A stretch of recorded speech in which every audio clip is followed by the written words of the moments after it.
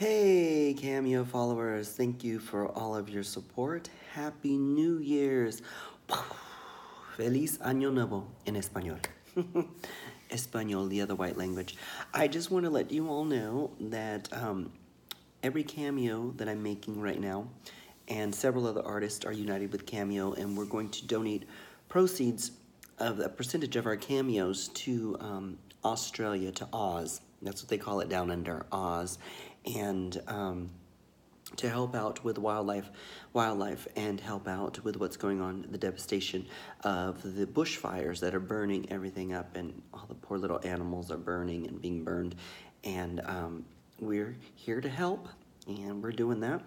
And um, thank you for all your participation and everything you've been doing. And I hope you're enjoying the ringtones. I hope you're. Um, there's some of y'all that are personal members and uh, well, that are a little closer that give a little more, and I want to thank you and um, hope that you're just having a happy new year.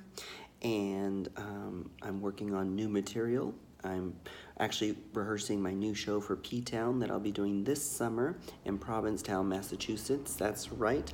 I'm actually doing it here in Puerto Vallarta, Mexico, working out all the kinks at Act 2. That's right, Act 2. So if you'd like to come along and um, come down to Puerto Vallarta and see the show, come on down.